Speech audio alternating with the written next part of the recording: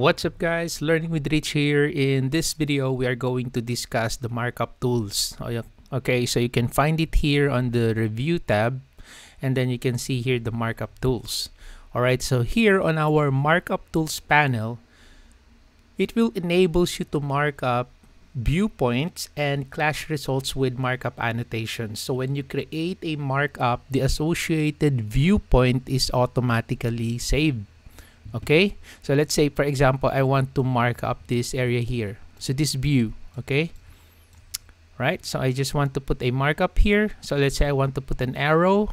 All right so I'll click the drop down arrow here. And then you'll be able to see here the shapes that you can create for your markup. So let's say I'll select an arrow. So I'll pick that one. And then you um, you need to pick the tail first of the arrow the tail location. So let's say this is the location. So one and then you can pick another point here for the head two. There you go. All right and then after that you can specify the annotation the text. All right so you can pick the text. By the way you can change here the color and then you can also change the thickness of your annotation. All right so in my case i'll just use the default. So i'll just select the text here and then i'm just going to pick here. There you go. So let's say i'm gonna type change the color. And then I'll just select OK there you go. Now uh, you can't easily select the uh, text here and then just drag it. Alright so what you do is instead of using the select tool here like for example select box you can't do that. Okay?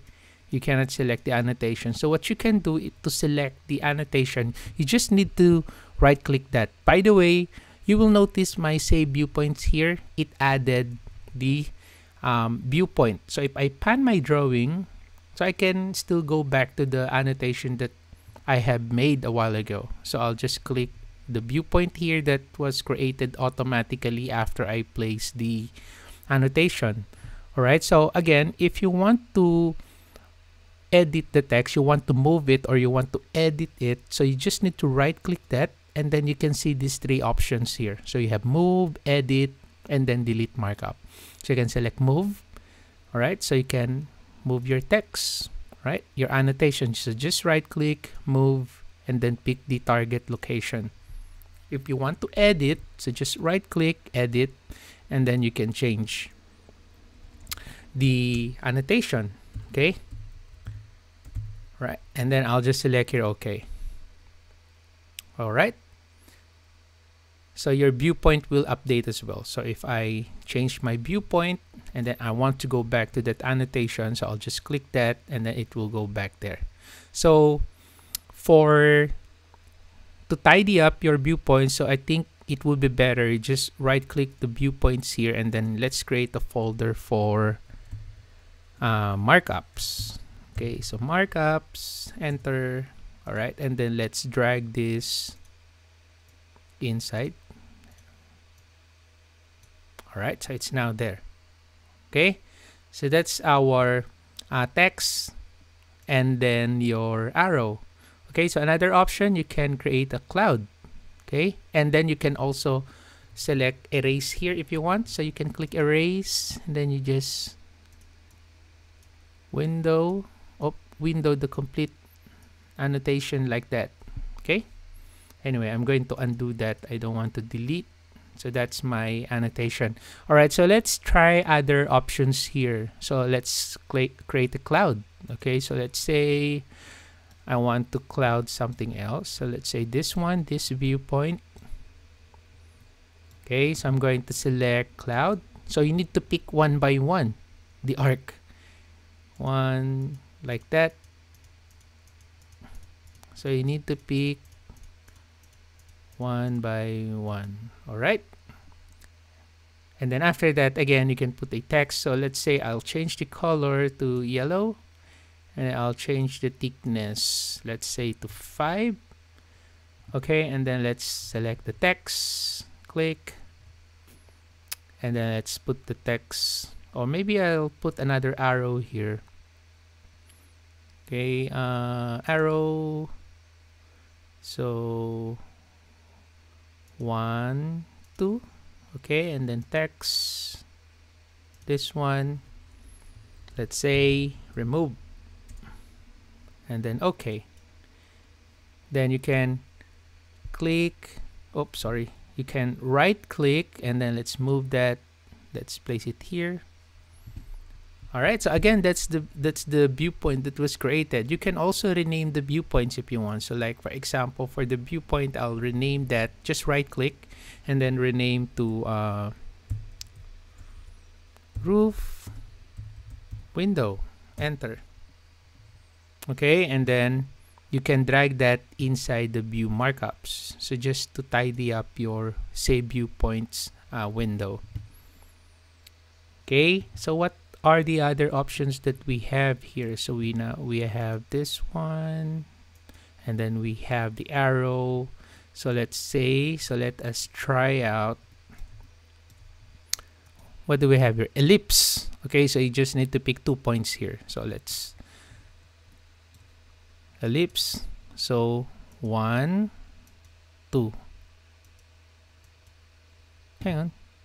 So one oh no. You need to hold your left click. Sorry. All right. So let me undo that. So let's select ellipse. Hold your uh, left click. Like dragging it from left to right. Okay? So pick your first point and then window it like that. There you go. So it doesn't look like an ellipse but an the but that's an ellipse. Okay. Right? Okay. And then I'll just put an annotation here. So like um I'll create a line here. So line there you go. And then I'll just put the text. Let's put the text here.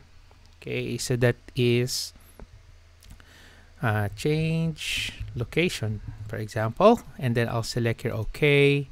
And then I'll just drag that inside the markup. Okay so I now have three markups there so let's uh, explore the other options. So we have free hands. so it it draws freehand markup okay so let's do this one. Escape. So how about here? All right so let's what's this freehand so let's click that one. One. So freehand so you can do like that okay? So let's undo this. So you can control the way you draw your markup so it's freehand like that. So you just need to hold your left click. Okay? So again so freehand. So let's say this stair here. So you can draw it like that. Okay? And then after that I'll just put the text uh, I'll use line string. So it draws a sequence of connected lines. Okay like that. And then I'll just put the text. Okay demolish this. There you go. So I can don't zoom in because if you zoom in it will change the viewpoint. Thus it will uh, it will hide or the annotation will disappear like that okay because it this is now a different viewpoint. So you just need to click again your uh, viewpoint here. Okay and then I'll just right click that and then I'll just move. So let's say here there you go. Okay? Or right click move. So maybe somewhere here. Uh, there you go. Uh, to be honest I don't like the annotation tools here in Navisworks okay it's really manual and you need to do it one by one. Anyway so these are the tools that we can use for uh, placing markups in Navisworks so we have the text so we have these draw tools and you can arrange uh, uh sorry erase it. You can change the color and change the thickness. Very simple okay? So hopefully you learned something from this video. Thank you for watching guys. Have a nice day